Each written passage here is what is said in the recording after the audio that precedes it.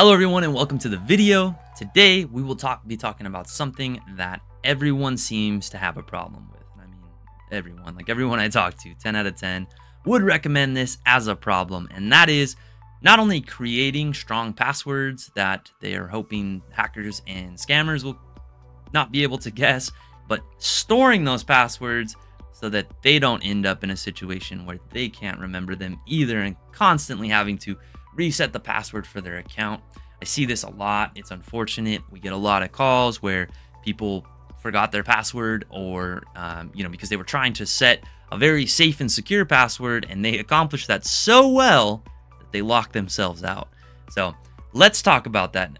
But before we do, we're going to talk about the big no-no when it comes to passwords because there is a big no-no out there and I see this a lot. And that is using the same password for every account online, especially for the critical accounts like your online banking, email, you know, Amazon account, places where you have your credit cards stored.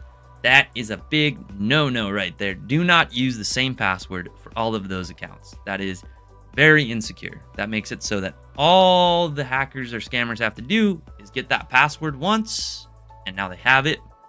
And they'll be able to get into all of your different accounts with one master key that you basically created for them. That's very bad. So don't do that, right? But that being said, you're probably thinking, but if I don't use the same password for every single account, I'm going to forget the passwords. I'm going to have to create all these different passwords and keep track of what, what this is nonsense, right? So let's talk about how to create strong passwords and then store them properly, okay? Creating strong passwords. I love the idea that came off the, the blog recently. I saw this once actually, or heard it once off of um, off of a podcast talking about computer security by one of the top guys in uh, in the field, and he was talking about using things that are maybe uh, you know very random. It doesn't have to be prudent to use. So maybe like a song title, a Bible verse, or a movie. Revamping those titles a little bit so that it's different our blog talks about this. It shows some perfect examples. This is a highly recommended method. Is basically taking something that is a real thing, like a song, movie, or Bible verse, changing it up, revamping it, adding in a mix of numbers, letters, and symbols to help uh, create that security, make it a really, really strong and hard to guess password, right? Now, what do you do once you have that password, now that you've got a secure one? Well, what I like to do is I have two methods. So my really, really secure passwords, the ones that are for critical accounts like Amazon, Gmail, my bank account, things like that, I store in this little Zelda uh, notebook. This is a notepad notebook in here. There's paper. I'm not going to show you because my secure passwords are in here, but this is great. My sister got this for me a long time ago. I love it because it's Zelda for one, one of my uh, favorite games of all time, and two, from my sister and I love her. So she got that for me, and I've always put my passwords inside of this little notebook. My really, really important ones. And as I change them, I'll track the changes, right? I knock it out, put in the new one, I put the date next to it. Yeah, it's really, really old school. You know, he taught me to do this. My grandma taught me to do that, and I've done this uh, ever since this. I remember she always used to have a book with her very important passwords. So I do use this. Now, this is, you know, old school method. I, I also do a more modern, up-to-date method of tracking my passwords because I can't track them all in here. So, you know, I have accounts out there like Chewy, Hulu, different things like that that just like aren't critical. If I have to change a password, whatever, I hardly ever access the accounts, things like that. Maybe I have to create an account for something online or whatever, and and you know I know I'm like not going to use it again for a while. I will typically just use the password generator. You guys have probably seen this. Everyone's probably seen this, right?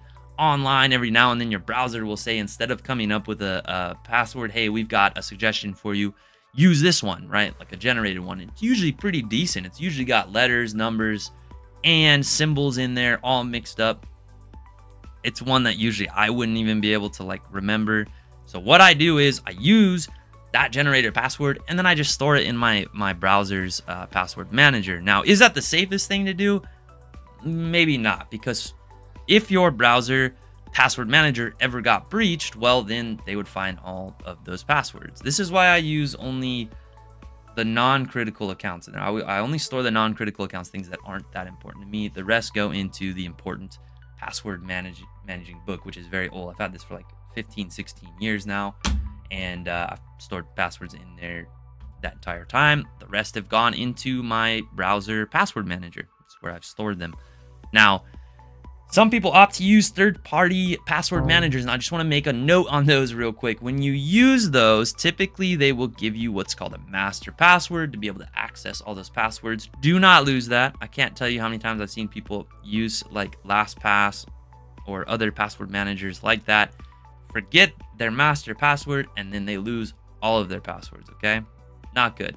And just remember, again, like I said, no matter what password manager you use, you are now risking the data breach that could ensue on, you know, like let's say you use the Edge or the Chrome or the Firefox one.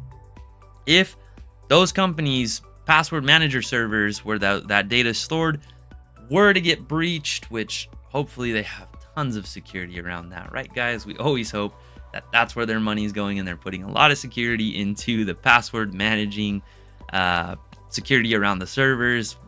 We hope. But if they ever got breached, it would be an absolute honey hole treasure trove of your data because it would be all your passwords in one place and that would be really bad so um, you could be super paranoid and write all your parano- uh, passwords down but just remember that that information is still stored over on the other end of whatever you know amazon microsoft boom they keep a copy of that and that's stored on their side so you can't defend or really do anything about it on that side. All you can do is try to store your passwords the best on your side, right? So you can put them in a book, you can use a password manager, you can use a third party password manager, but you need to do something. You're not going to remember them all hmm. up in your head. So if you're not tracking them on pen pen and paper, you might unfortunately just have to take the risk of using a password manager, store all your passwords in the password manager so that you can remember them, right? Because it's better to have access to your accounts than not have access at all because you don't know what the password is. So, but then of course that's what different verification modes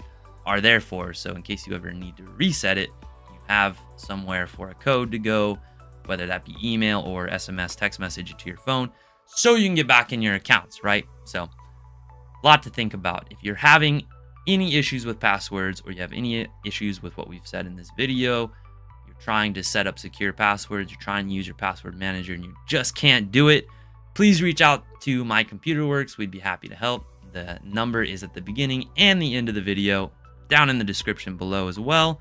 And while you're down there, go ahead and give us a like and subscribe, please, so we can keep bringing you these videos. Thank you, everyone, and you have a great day. Stay safe online.